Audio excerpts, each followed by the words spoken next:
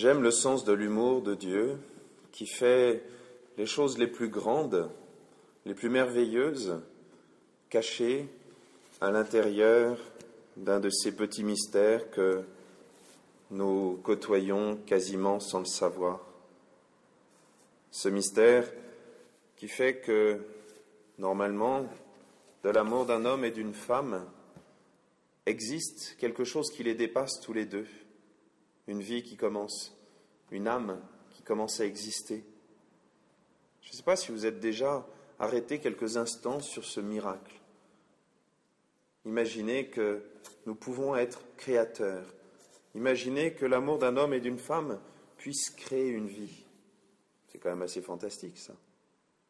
Et Dieu a voulu que, au sein même de ce petit miracle de la création de la vie, ait lieu le miracle le plus incroyable de toute l'histoire de l'histoire, de toute l'existence du monde, et même plus que ça, c'est-à-dire le moment où l'humanité a été totalement unie à Dieu, où dans ce qui, sous le regard d'un microscope, ressemblerait à une seule petite cellule de rien du tout, était en réalité vrai Dieu et vrai homme en même temps.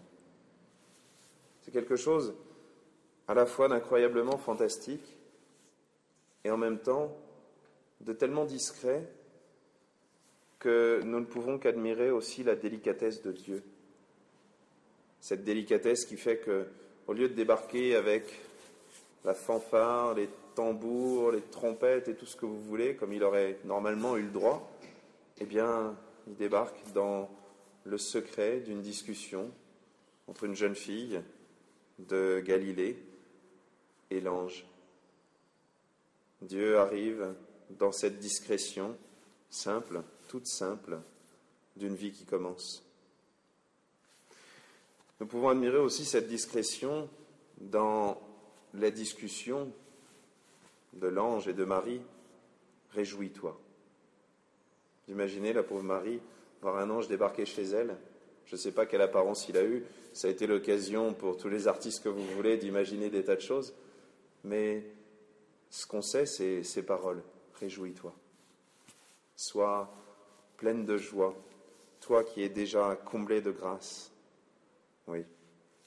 Admirons les merveilles que Dieu fait et à travers cette merveille de l'annonciation, cette merveille de l'incarnation, nous pouvons aussi admirer ces merveilles que Dieu fait à chaque instant dans nos propres vies et qui sont tellement discrètes que quelquefois nous n'osons pas remercier Dieu de ce qu'il fait. Alors, avec Marie, avec tous les anges qui devaient être là en train de guetter la réponse de Marie, avec tous les saints du ciel qui sont au ciel justement à cause de cette réponse de Marie qui a uni la terre et le ciel, avec tout cela, demandons à Dieu de savoir reconnaître ses merveilles, de savoir lui rendre grâce, puisqu'il nous a aussi comblés de beaucoup de grâce. Demandons-lui simplement d'unir notre prière à la prière de la Vierge Marie, d'unir notre vie à celle du Christ.